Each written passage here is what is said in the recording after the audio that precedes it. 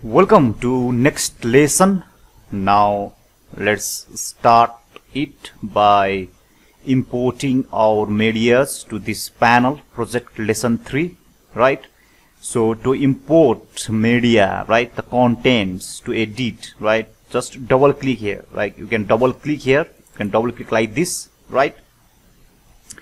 Uh, cancel it or you can go to file and then you can click import also right you can click import the same location or you can do control I right? Control I in the keyboard right?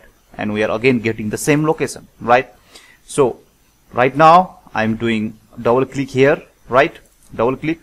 Now let's import uh, some of the video clips right? Okay I am in the folder right? Select your folder where your video clips are located right?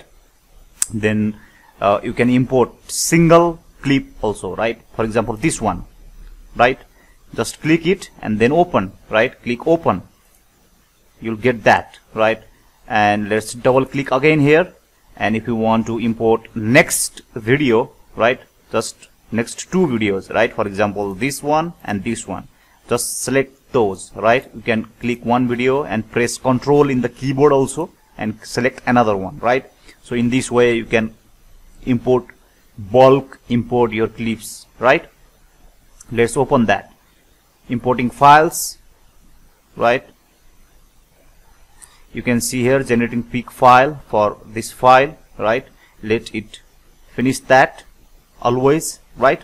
So we have three videos here right? Or you can see three clips here right? Video footage here in our project lesson 3 panel right when you are initially running Premiere Pro and importing videos then uh, you'll get like this right?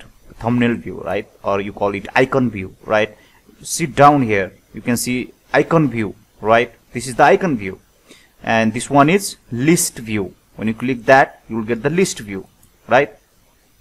So when you go on working in Premiere Pro then someone likes to work with icon view and someone likes to work with list view right? It depends on the how much content they have here in the project panel right? So since this is the beginning class beginning course so let's switch to icon view right? So here is the clip right? We imported that right? Next to project panel you are seeing timeline right? Timeline. Drop media here to create sequence now let's create sequence. Just click this one right click and drag here and then drop. Right?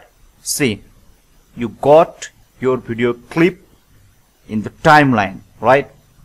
And it automatically creates the sequence name. You are seeing here Z012204 that's the video name. That's the clip name right? This is the video right? This is the video. This one right? This one. And you are seeing here this is the sequence right? When you move to this uh, list view just click that and you are seeing this is the sequence right?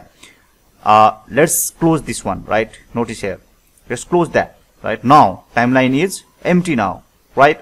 So where is our work. We imported one clip in our sequence right? And we closed that. And it will remain here look this one is the sequence. Double click that. Right? Look we got our video clip here. Right? So in any case if uh, in case you uh, close this one right then you can go to this uh, project panel then you can solve the sequence. Right? This is the first one initial sequence and we have clip here. Right? Here. And we can also create a new sequence. Right? For that go to file new then sequence right? Or you can also press ctrl n for new sequence. Just click that then it will ask you something right? Sequence presets right? And I have set it to DVNTSC widescreen 48 KHZ right? Just move with that for now. 16 is to 9 then click it. Now you notice that sequence 01 now there are two sequence one is initially that we created this one and another one is second that we created just now. Sequence 01 so uh, for example this is one video clip right? This is one video clip you are editing right? And depending upon the situation right you might need next sequence to edit next any uh, for example this video right? You can drag it here right? Now notice when I drag and drop then it will say something. This clip does not match the sequence setting change sequence to match the clip setting. Then change sequence setting right? Click that. Change the sequence setting. What happens when you click just keep existing setting? For example file new sequence right? Click. Sequence 03 right now drag the same clip here. Notice drag and drop. Uh, earlier we did change sequence setting right? But for now let's do keep existing setting. Now you notice that video right? When you go to sequence 01 we are getting our full video right? But when you move to sequence 03 the video is in zoom format right? Zoomed. So this will be the issue right? We can solve that. We can solve that but uh, that will be in next just don't worry about that right now. Close that sequence 03 and also delete sequence 03 from here right? See here. To delete that sequence 03 just right click that right? Then clear. You can see here clear. We don't need that right now.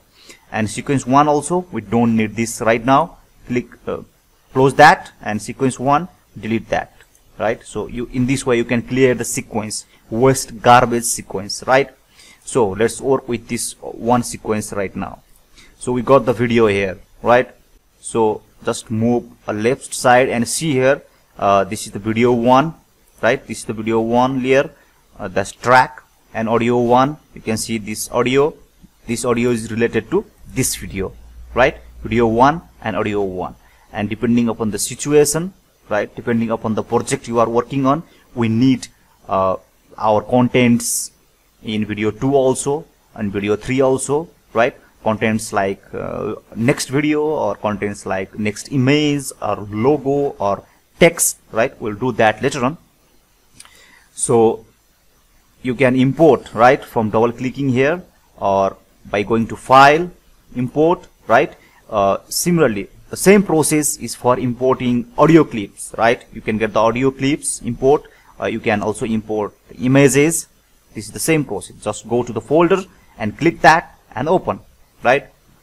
So this was about uh, getting your video in the project panel and getting your video in the timeline. And this was about the basic about the sequence right?